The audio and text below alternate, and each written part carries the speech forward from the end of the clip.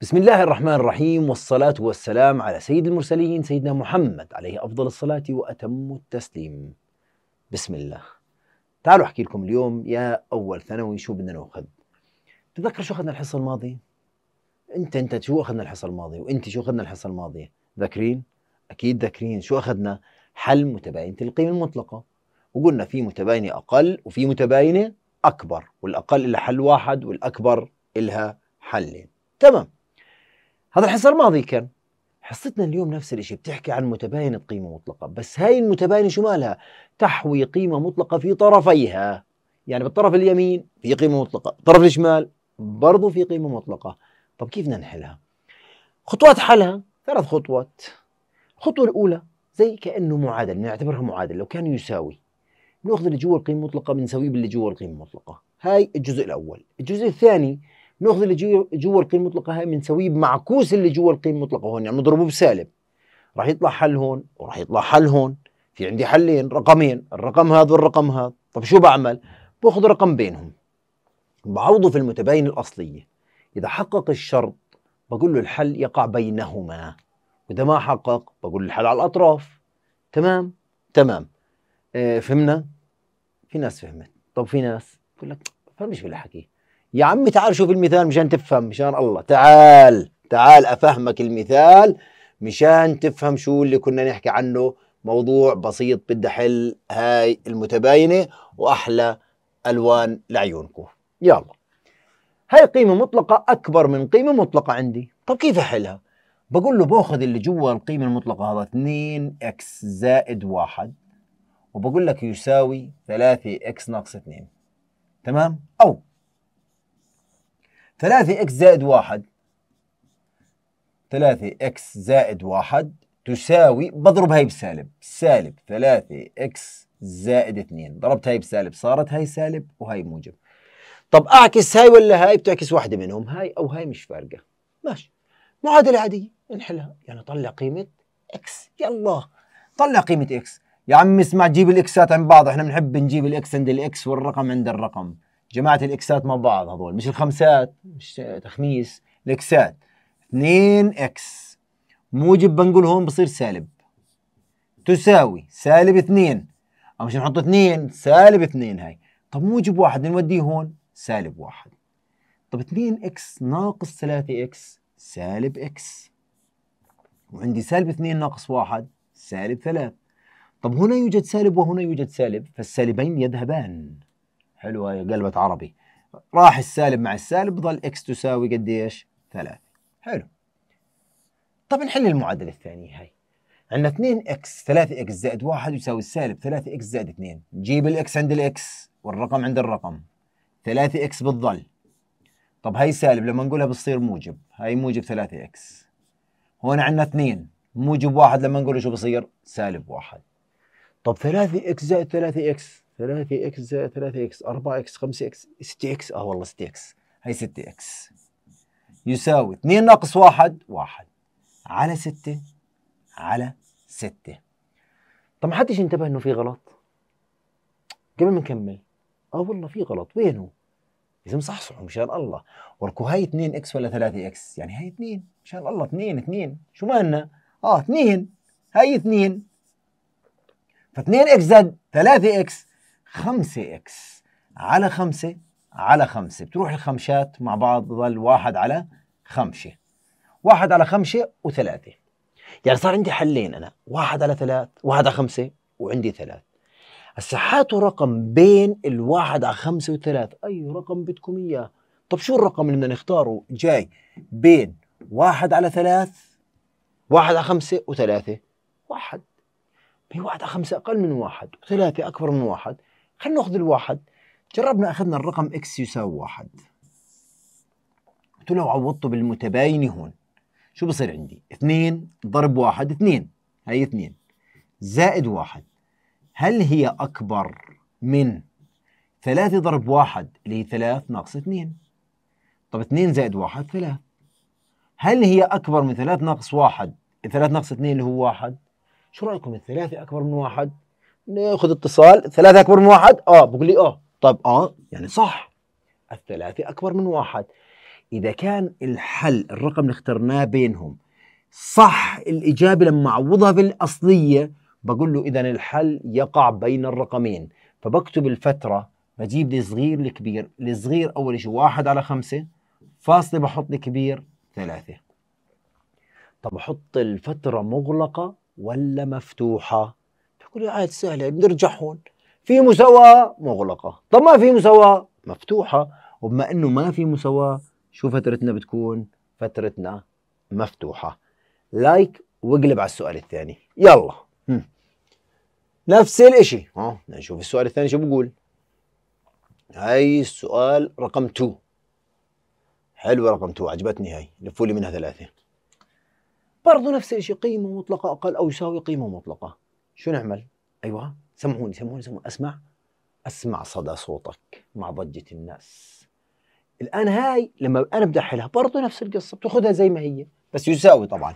يعني بنقول إما 2 x ناقص 7 تساوي إكس زائد 2 أو بقول 2 إكس ناقص 7 يساوي بضرب هاي بسالب سالب x ناقص 2 الآن صفى حل معادلات عادية جمع الإكسات مع بعض جمعوا الأرقام مع بعض. يلا نجمع الإكسات. لو جبنا ال x هاي هون ودينا هاي لهون صار عندنا 2 إكس. نجيب الإكس موجب بصير سالب يساوي عندي 2 وهي سالب 7 لما ننقلها هناك بصير موجب 7 2 إكس ناقص إكس إكس. و2 زائد 7 9 هي الحل الأول. نشوف الثاني. نفس الشيء جمع الإكسات وجمع الأرقام. يلا جمع الإكسات. هاي هون هاي هون. 2 x.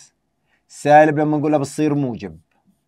يساوي عندي سالب 2 سالب 7 لما ننقلها موجب 7 موجب 7 2 إكس زائد إكس 3 إكس و3 يعني 3 يساوي سالب 2 زائد 7 قديش؟ خمسة لأنه نطرح وإشارة الأكبر.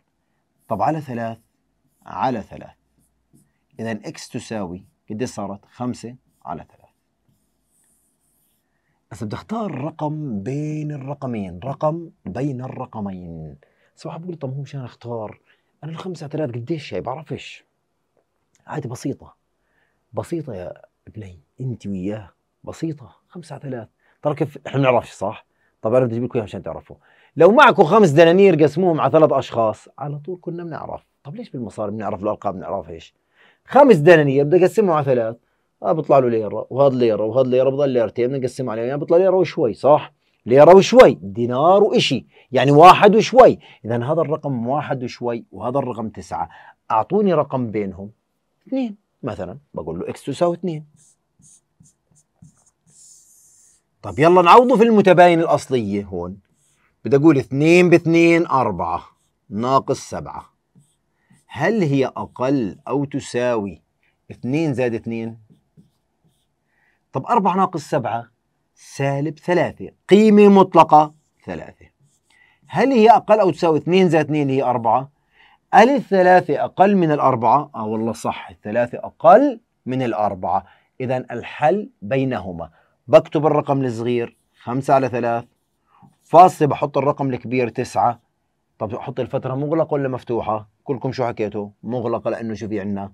مساواة فالفترة مغلقة. إذا الفترة مغلقة. على فكرة والله حله بسيط. يعني حلو القيمة مطلقة مع قيمة مطلقة. بسويهم مرة زي ما هم مرة بعكس واحد صح؟ بيطلع رقمين نأخذ رقم بينهم. بنعوضه في المتباين. إذا آه بيكون حل بينهم. إذا لا على الأطراف. طبعا إحنا لسه ما طلعش معنا حل على الأطراف. آه. هاينا ماشيين. ماشيين حتى يطلع معنا حل الاطراف كمان. طيب. شو بتقولون؟ أزرق؟ هاي أزرق لعيناكم. القيمة المطلقة لخمسة ناقص إكس. أكبر من القيمة المطلقة لإكس زائد أربعة. يعني شو يعني شديت حالك وانت يعني بدك تخوفنا؟ يا زلمة عادي آه. خمسة. ناقص إكس تساوي إكس زائد أربعة. أو خمسة ناقص إكس تساوي سالب إكس ناقص أربعة. تمام؟ تمام. مرات بيكون في واحد نايم بالحصة صح؟ آه بيجي هذا النايم يقول له أستاذ أستاذ آه شو بدك؟ آه عادي لو عملنا هاي سالب خمسة زائد إكس وخلينا هاي زي ما هي. يا زلمة إحنا حكيناها اول الحصة يا زلمة. مالك يا رجل؟ والله عادي بتقلب واحدة منهم. بس اوعى تقلب الثنتين لأنك إذا قلبت الثنتين كأنك ما سويتش شيء كأنك خليتها هاي على فكرة. لما بنقلب الإشارة بنقلب واحدة منهم يا اليمين يا الشمال وما بيفرق مين ما بدكم طب بعدين؟ يا زلمة جننتنا فيها. تجمع الإكسات مع بعض جمع الأرقام مع بعض خلص آه، قصة يعني بدك تسوي لي إياها قصة يا زلمة. جيب الاكس عند الاكس ودي الرقم عند الرقم. سالب إكس موجب لما نقوله بصير سالب. يساوي أربعة. خمسة لما نقولها سالب خمسة. صارت طب سالب إكس وسالب إكس سالب اثنين إكس أربعة ناقص خمسة. سالب واحد. على سالب اثنين. على سالب اثنين. راحت هاي. إكس تساوي. طب هون في سالب وهون في سالب. أكيد بروح السوالب نص. هاي نص. جميل. يلا نحل هاي. شوف مع بعض. جيب الإكس عند الإكس. وودي الرقم عند الرقم. سالب إكس. سالب لما نقوله بصير موجب. يساوي سالب أربعة. انقلوا الخمسة هون سالب خمسة. طب سالب إكس زائد إكس. سالب إكس زائد إكس. سالب إكس زائد إكس. شو بيطلع؟ صفر. سالب موجب نطرح. اذا صفر يساوي سالب تسعة. برأيكم الصفر يساوي سالب تسعة؟ يعني اللي مديون بتسع دنانير. زي اللي معوش ولا دينار. لا والله المديون بتسع دنانير. مديون. واللي معوش ولا دينار أحسن لأنه معوش ولا دينار بس هو مش مديون زي هذاك. ماشي. معناته الصفر لا يساوي سالب تسعة. اذا مجموعة الحل هون شو هي؟ فاي. طيب. أنت قلت لنا لما تكون قيمة مطلقة مع قيمة مطلقة بيطلع حلين. بنيجي بناخذ رقم بين هالحلين. إذا آه بينهم إذا لا على الأطراف. طب هم طلعش حلين شو أعمل؟ ولا شيء أعمل شيء. بنعمل شاي بنشرب كاسة شاي بنمخمخ عليها بنفكر بنقول لها شغلة عادية ما عنديش غير رقم واحد اللي هو النص. هيو مو الحل يا بده يكون هون يا بده يكون هون. الحل ما فيش مجال. يا بده يكون أكبر من النص يا بده يكون أصغر من النص. طيب مشان أعرف بقول لك عوض رقم. أعطيني رقم مثلا بالمنطقة هاي هاي المنطقة أقل من النص أخذنا الصفر. بنعوضه وين؟ في المتباين الأصلية. إذا آه بقول له والله الحل هون في المنطقة هاي. وإذا لا بقول له ده الحل في المنطقة هذيك صار. طيب الآن إحنا أخذنا الصفر نعوض الصفر بنقول له خمسة ناقص صفر. هل هو أكبر؟ هل هو أكبر من صفر زائد أربعة؟ خمسة ناقص صفر خمسة. وقيمة مطلقة خمسة. الخمسة هل هي أكبر من صفر زائد أربعة اللي هي أربعة؟ الخمسة أكبر من أربعة؟ فكر. ها بدي أفكر أنا وياك. خمسة أكبر من أربعة؟ صدقني ما إحنا عارفين نفكر. طب خلينا نتصل على واحد. استنى شوي. هي برن برن التليفون. ألو؟ أبو قطيط آه. إيه، أبو قطيط في سؤال عندنا هنا بقول لك خمسة أكبر من أربعة؟ آه الخمسه أكبر. والله؟ عن جد؟ طب إحنا بنعرف يا زلمة. يعني ليش شادد حالك أنت؟ يعطيكم العافية. يلا خمسة أكبر من أربعة بتقولوا صح. لما اخترنا الرقم مش اخترناه في المنطقة هاي إذا حل في هاي المنطقة. طب المنطقة هاي جاية أقل من نص يعني من وين؟ شو اللي بكون هون؟ سالب ما لا نهاية. هاي سالب ما لا نهاية دائما مفتوحة. لوين؟ للرقم مين نص. طب النص مغلق ولا مفتوحة؟ نطلع هون. في مساواة؟ لا يعني مفتوحة. إذا مفتوحة. تمام؟ إذا من سالب ما لا نهاية للنص كانت إجابة هيدا السؤال هيدا السؤال بس مش زي هيداك السؤال. طيب عندنا هذا المثال الرابع على هذا الموضوع والأخير. مالك يا شاشة اهدي اهدي اهدي اهدي اهدي. أوقع علينا. يا أخي والله أخذنا اللي بكون بيناتهم واخذنا لما طلع فاي. معقول ما بدوش يعطينا ولا سؤال الأستاذ إنه يكون هون وهون الحل على اطراف تعال نجرب. صلوا على رسول الله. اللهم صل وسلم على سيدنا محمد. هذا السؤال. إيش نعمل؟ مين سبقني بالحل؟ والله أنتم شكلكم سبقتوني بالحل بس يلا تعال نشرحه. 2 إكس زائد ثلاثة يساوي إكس ناقص 2 أو. 2 إكس زائد 3 يساوي اضربوا هاي بسالب سالب إكس زائد 2 أي والله مش طالعة إكس طالعة الفا معي الله أكبر أقسم بالله زي يا زلمة حتى كتابه علمناك الكتابة يا أبو قطيط ومش عارف تكتب. ها تساوي سالب إكس. هي سالب إكس ناقص 2 بتصير زائد 2 نضربها بسالب إحنا هون. طيب شو نعمل؟ جمع البكسات. البكسات شو البكسات؟ هاي الإكسات مع بعض والأرقام مع بعض. طيب جيبوا هالإكس هاي هون وجيبوا الرقم هون. 2 إكس. هاي إكس إذا نقلتها هون شو بصير سالب إكس. يساوي هون عندي سالب 2 وهاي الموجب 3 لما نقولها هون بصير سالب 3 طب 2 إكس ناقص إكس. 2 إكس يعني عندي ثنتين إكس. قيموا منها إكس بضل إكس. هاي إكس. سالب 2 ناقص 3 سالب 5 حلو خلصنا من هاي. نيجي هون. عندي جيب الإكس عند الإكس. ودي الرقم. عند الرقم 2 إكس. لو جبنا سالب هي سالب إكس لما تجيبها هون شو بصير؟ موجب إكس. هون عندنا 2 وهون 3 لما نقولها شو بصير؟ سالب 3 طب 2 إكس زائد إكس خوف الله إنها إيش؟ 3 إكس. 2 ناقص 3 سالب 1 على 3 على 3 اذا إكس تساوي سالب 1 على 3 حلو. هي طلع عندي قيمتين لاكس بس بتختار واحدة بينهم. واحد بقول لي طب استنى ها أنا مش عارف مش عارف مثلا ها. بقول له سالب خمسة وسالب واحد ثلاث أكيد هي سالب خمسة.